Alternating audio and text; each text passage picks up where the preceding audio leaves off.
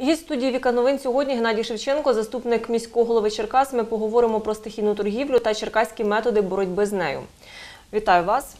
Вітаю вас, Лена, вітаю всіх, хто нас дивиться. Вітаю.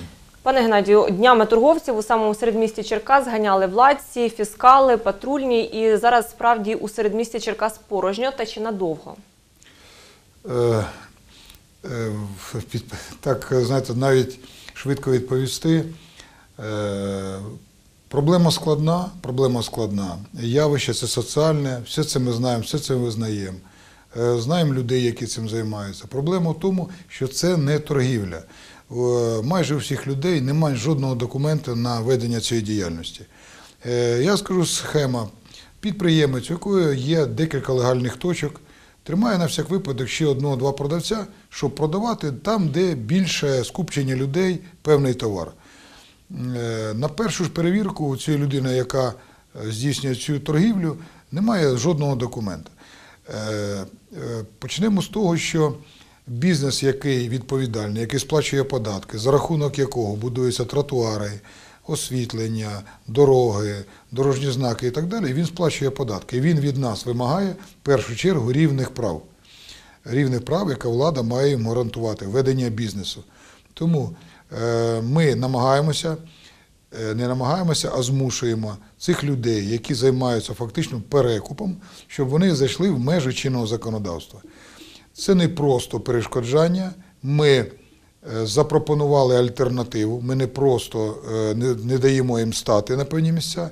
Ми вели довго роз'яснювальну роботу. Ми знаємо кожного особисто.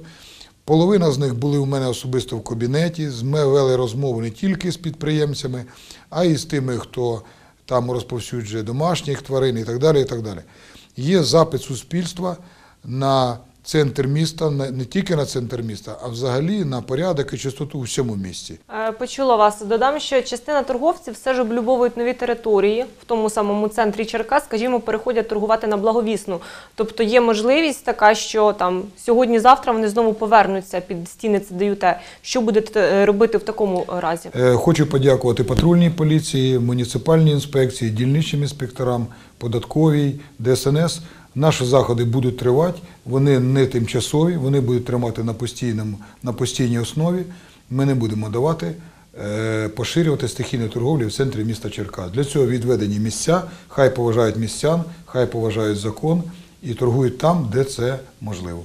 Е, Дуже часто торговці, яких ми називаємо стихійниками, апелюють до того, що вони змушені годувати сім'ї, заробляти в певний спосіб. Можливо, все ж треба було якось з ними домовлятися, вести перемовини і продовжувати шукати компроміс. Е, Компроміси всі зроблені, надані альтернативні місця. Ми маємо забезпечити рівні права всім тим, хто займається бізнесом. І тим, хто не хоче торгувати, а хоче просто з дітьми пройти по центру міста і бачити благоустрій, бачити чистоту, і бачити порядок, фонтани, е, скам'яєчки і все інше, обрізані дерева і так далі. Тому просимо поважати містян цих людей, які в такий спосіб намагаються виживати. Почула вас. Дякую за розмову. Глядачам нагадаю, що сьогодні гостем студії Віка Новин був Геннадій Шевченко, заступник міського голови Черкас. Ну а ми рухаємось далі.